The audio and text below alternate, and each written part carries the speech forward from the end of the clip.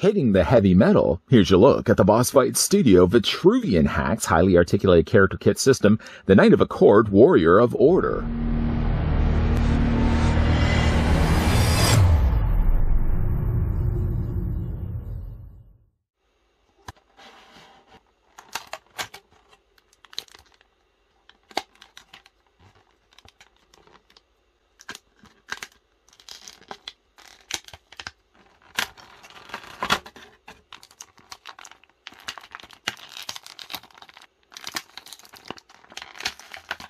With blasted land orcs becoming more warlike and increasing both the number and scale of their attacks on the southern borders of Accord, casualties among the knights increased dramatically. Running out of suitable recruits, Lance Steelblade, over the objections of many senior knights, opened the rolls of the order to females. There was an immediate influx of recruits who required training. Lance assigned King Leonidas to the task. Leonidas turned the traditional three year training regime of the Knights into an intensive muscle and mind testing six month course based on Spartan principles. The first graduates already started filtering out to the front lines in order to aid in pressing the orcs back. Even though it is the daytime, it really is the nighttime, the right time to have a look at the Knight of Accord. Before we get a closer look at the figure, I'd like to thank the folks over at Boss Fight Studio that did provide this sample that we could have a look at in this video. Bringing it slowly, because I realize sometimes when I bring it in abruptly, if you guys are leaning forward on your desks, eating your sandwiches while watching these videos, thank you for that, by the way. Bringing this in quickly may abruptly startle you, and I don't want to do that. So I'm going to bring it in nice and slowly. Clickety click, barba trick. We're going to take the tape measure right to the very top of the knight's head, and you're looking at the figure standing about three and three quarters of an inch tall, so it stands within line with all the other Vitruvian hacks and hero hacks figures we've looked at thus far. Spinning around to centimeters, and you're looking at the figure being closely to about 9 centimeters in height. Not that they are really from the same world, but here's a figure we just recently had a look at, also from Boss Fight Studio. Here's what the Knight of Accord looks like next to the blue costumed Phantom that came included with the little tiny people. Little people, they were actually called. You can see that, like in this case, the Knight of Accord is about the same height to Phantom, although you can easily see, though, the Knight of Accord has a lot more armor than the Phantom we looked at before a lot of stuff comes included with the Knight of Accord. Starting first, the figure comes included with a display stand. The display stand is very much different than the one we got before with the Hero Hacks, just to bring that one in so you can see the difference between the two. The plastic is, yes, the same, but the swooshed display stand also here does, doesn't have Hero Hacks or anything along those lines. Instead, what we only get treated to is Boss Fight Studio. Some nice detailing actually done to the plastic molding that they've used. And you can also see there's fewer pegs on the top of it. It attaches onto the bottom of the feet the same way. You will want to be taking the figure and just doweling the peg d- display stand onto the. Doweling basically just means I'm taking the stand and I'm twisting it against the feet to broaden the size of the hole. And once the hole is big enough, then the figure isn't going to be going anywhere. Not that I would be doing a blizzard test, but yeah, the figure attaches fine to the display stand with a little bit of doweling. I'm put the figure down here for a second. Uh, as for the rest of the things that come included with this figure, it's mostly all weapons, armor, helmets, along those lines. Put that down for a second. Figure comes included with a sword. Nice looking sword. It's got a more off-colored silver for the actual broad blade. The guard is done nicely in gold with a matching gold accent on the end of the hilt. Again, some nice real color and sculpting happening here. Also comes included with a scabbard, which matches the color, although the colors of the blue and the gold are a little bit more dingier, which would make sense if this is something that the knight is carrying around on their suit. Ironically, I'm saying that you can take this sword and slide into the scabbard, although it seems to only go with a little bit of persistent force. I don't know why it takes actually as much effort as it does to get the sword into the hilt. Wondering if it maybe isn't wide enough. Maybe I need to widen it a little bit more. Maybe I just have to take a few passes before I actually make that canal a little bit more open. Sword doesn't, like I said, fit well in there at all. I almost feel I wouldn't want to push it in completely for the risk I would have an, a real hard time actually just removing the sword altogether. Of course, you can take the sword and fit it into her hand. As for the scabbard, though, I'm not really sure whereabouts it could go on the knight. Now, I've picked up the figure, multiple passes and rotating the figure around. I've tried to look at places where I think it could go. Like there's these little holes here on the back that for all intensive purposes, there's a peg off after all on the bottom of the, on the back of the scabbard that you could really twist it onto it. But being that this is softer plastic and the peg is also softer plastic, it may involve you having to actually heat this to get the scabbard attached onto the back properly. One thing you can also do too is you can take the shoulder pads off completely. They just attach by the peg located on the back of the torso. So you think to yourself, well, maybe you could take the scabbard and attach it there. The hole then seems almost too big to fit the peg. So that's not really going to work either. Let's go ahead and put this back on before I lose it. The only other place that I thought maybe I could put it on and it would only be a loose solution uh, is to take it and actually just above the skirting between like this part of the armor and the side skirting of the leg. There's this little gap right here. You can also technically cheat and take the scabbard and attach it there. And that might be the closest thing I have to having a, a solvable solution to where I can actually put the scabbard. Still, though, I don't think I'm going to be putting the sword in. I mean, first of all, even if you were to put the sword in, look how close it would be. It would be butting up against the shoulder armor and I'll be dropping the scabbard in the process. I'm going to have to go back and retrieve that in a second. Other things that come include with the knights, getting the feet completely leveled flat. I really should have just kept the display stand handy, but you know what? I think it's I think she's going to stand okay. Figure also comes included with a shield. The shield, I really like the look and the coloring of this one. It would match the scabbard I just finished dropping. It would also match the same blue and the gold that was also here on the sword, but like the scabbard, it's a much more darker color. Those seem like flying horses, at least from what I can tell on the front of the shield. You also seem to have a star and a pointed formation down below, and some nice gold accents and silver accents that add to the shield with some nice additional blue on the inside. This attaches onto the hand. You're simply just going to, you don't have to necessarily bend the elbow, but you can go ahead and just take the hand and take the existing hands that the hands, the existing hands that come included with the figure, and just attach them onto the handle. It's a little harder to do, especially when you're doing this in front of a camera, but the shield does fit well into her hand. The thing that confuses me next, though, when it comes included with this figure, uh, we already had the issues with the scabbard, is also the staff here, which is basically like it's a staff that has multiple purposes to it. As it goes right now, it's just a standalone staff or bow staff stick. The coloring is nice, done in a more dark chestnut brown. You've got some silver accents riveted along the top of it, where the middle section done in silver, and of course the ends done also in silver. But then there's also this blade, this spike that turns it from a staff to a spear. You simply just take the top of it and attach it onto the peg that you can see provided on the top. It does involve a little bit of twisting, but eventually, well, a little more straighter would be handy. You got yourself a rather nice looking spear that she can carry around with her as well. That's not the part that confuses me. The part that confuses me is this part right here.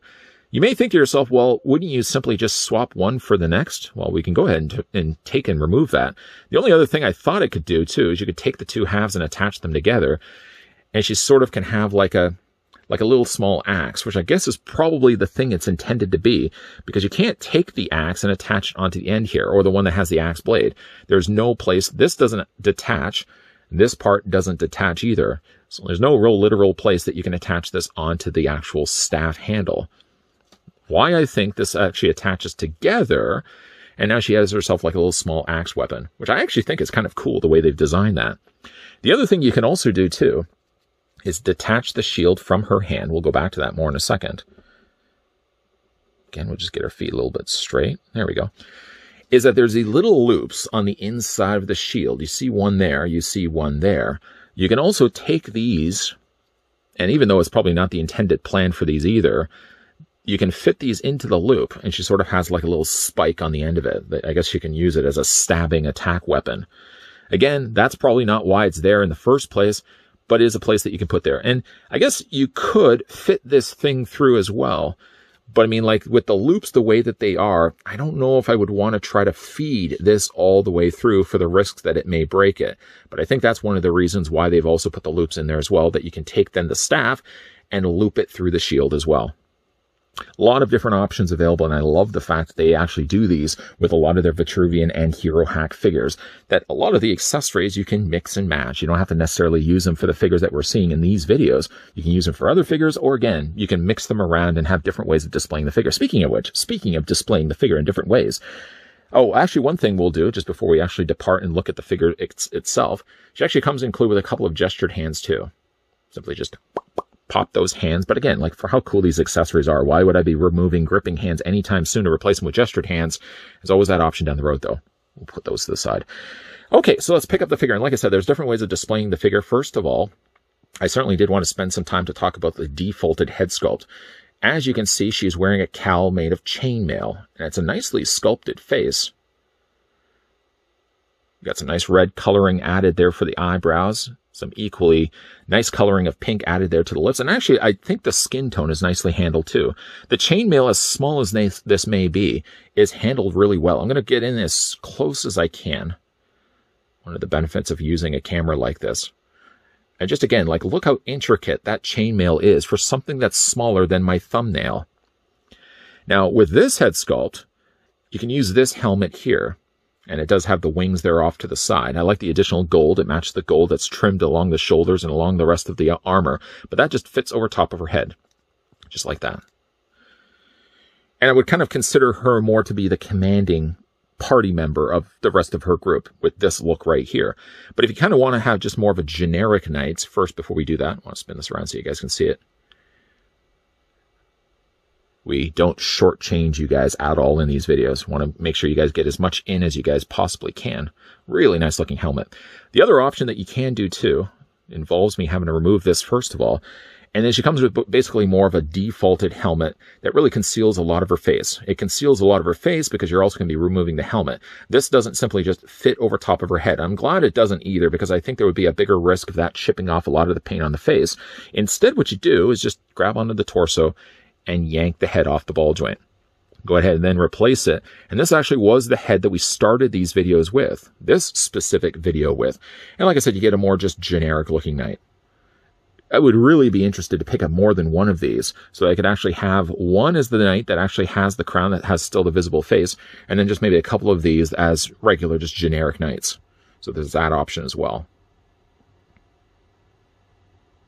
Super, super cool. Let's go ahead though and pop this back off, revert it back to the way that we had it. Pop that back into place. Make sure it's in all the way there. And certainly when it goes for the rest of the body, maybe we'll, we'll do for the time being is we'll leave off the helmet. We'll probably go back to that, I think, in final looks. For the rest of the armor, it's a more slimmer looking build, being the fact it's a female knight. But like the armor is really nicely handled here. Things like shoulder pads, as we've already seen, is actually something that attaches onto the back of the torso via that peg. Still though, maybe with the holes that attach to the scabbard, as a possibility as that's another place where you can store the sword. But these are being softer plastic and the way that they are attached doesn't seem to limit the articulation on the shoulders. I mean, granted, you wouldn't be able to rotate them all the way around, but still enough of a job can be done. She has some additional skirting also that attaches in a very, very small amount of plastic. You can actually see the way it's looped around a peg. While it does not eliminate any bit of leg articulation, I do worry about the longevity of that. You can see the way it's looped around that peg. This literally looks like it's just attached over top. I would hate to think at some point this is going to fall off for me because I think it's going to be a real pain to try to get that back into place because it's just the way it looks like it's looped around that peg. I do like the gold trim that they've added here. Like the, the darker silver. I wouldn't even know if I would say it's still silver. It's almost more like a tarnished gunmetal gray nicely colored here in the figure. The underbody here actually is more of a black coloring that she actually has also there in her forearms underneath the guards that cover over her, her arms. And of course, she's got that also on the tops of her biceps too. But like the majority of it, when you're looking at from the back, you can see like very much exposed unarmored legs. This would not be the point. This would probably be the bad place to be standing if your opponents are behind you like this. They probably can go for a direct shot to the back of the leg. She has a little skirting there also in the front of her. We can just lift that up. This is softer plastic, by the way. But again, like the paint on this is so really good.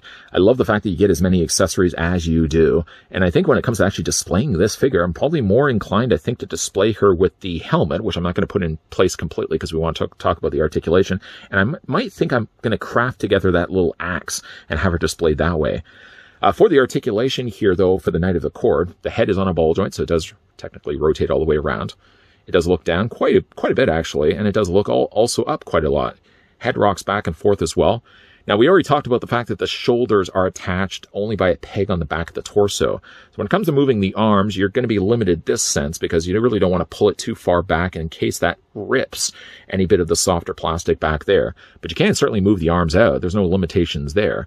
Uh, there is no bicep swivel here. However, there's a swivel here at the elbow, and there's also a single hinge in the elbow there. Hands rotate also back and forth. She has an upper torso ball joint, despite the fact that she has so much armor here on her body. They still manage to put in articulation in the top of the torso. Legs split out. You can take the legs and move them forward and back. There is a swivel cut about three quarters of the way up the up the thigh there. She has double hinge on the knee. Her knees are a little on the more scrawnier side, but being the fact that she has so much then armor over top of it, probably would explain why they had to make them the molding so much finer, slimmer, leaner. Then, of course, she does have articulation also here in the feet. You can rock those feet also back and forth. Really nice, really nice looking figure.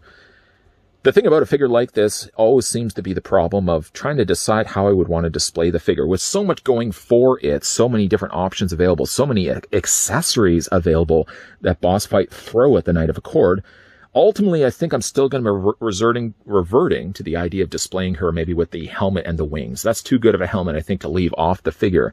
Unfortunately, it will mean I will have to put this one back in the packaging at least for the time being, or until I eventually get myself a Knight of Accord times two I know it's going to happen at some point.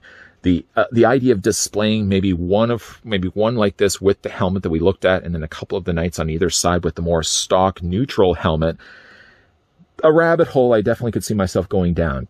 First of all, I like three and three quarter inch scale. That's one of my favorite things growing up as a kid. I love the old G.I. Joe scale of figures, so this is right up my alley. You get super detailed figures, superposable figures, and with the amount of accessories, again, that Boss Fight throw at this line, it's definitely a line that if you're not collecting already the Hero hacks or Vitruvian hacks, and you like the three and three quarter inch scale, you are really seriously missing out on one of the best three and three quarter inch scale figure lines out there with still not knowing where that scabbard belonged in the Knight of Accord, ultimately I just attached it onto the side of the leg that I said I was going to do in this video, and it seems to do a pretty good enough job of staying there, providing I'm not going to be moving the figure around too much.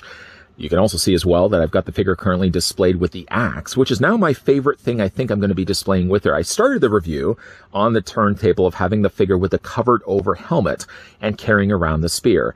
In the final looks, as we have the figure spinning now around on the rotisserie, I've reverted the look completely and decided to display her instead with the open face helmet that has the wings off to the sides, which I think actually not only is a cooler looking helmet, but it still gives you the opportunity to see the nicely sculpted face that Boss Fight put into this figure in the first place. And of course, I've got the shield also on the other side. As good as it is just to be carrying around a big mauling axe like that, you'd like to think also too that she's going to be able to protect herself. Now the shield does have those little loops on the inside of it, which I can only suspect are they're in, intended to have this the spear slid straight through.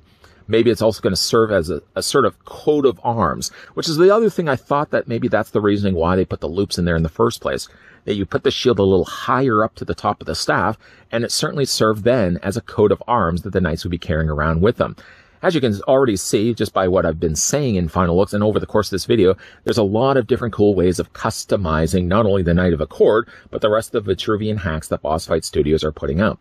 A big thank you once again to the folks over at Boss Fight Studio that did provide the sample of the Knight of Accord that we could have a look at in this video. For your video question, whether you have this figure or not, how would you display it? Would you display it with completely the domed over helmet, or would you display it with the eared or winged helmet that I've got displayed? And what kind of weapons would you display with this figure also as well? Also, if you're loving the content here, and first of all enjoyed this video, hit it with a like. If you want to also stick around and make sure you're here for all the other Boss Fight Studio Vitruvian hack reviews that we have coming through the pipeline, make sure you hit the subscribe button down below and turn on the bell notification as well. And, and if you guys did want to see other reviews that I've done for Boss, Boss Fight Studio, popping up at the very end of this video will also be a playlist. That is to say, if you have a little bit of time on your hands and you're not, I don't know, pr- protecting a kingdom, do we do that anymore? Protecting kingdoms? I mean, that would be nice to say, like, I can't come into work today. I'm protecting my kingdom. Are you going to still come in tomorrow? I don't know. I don't know. I, it depends on how long I'm protecting my kingdom for. As I said, though, lots of stuff coming your way, guys. So as always, thanks for watching. See you guys next time.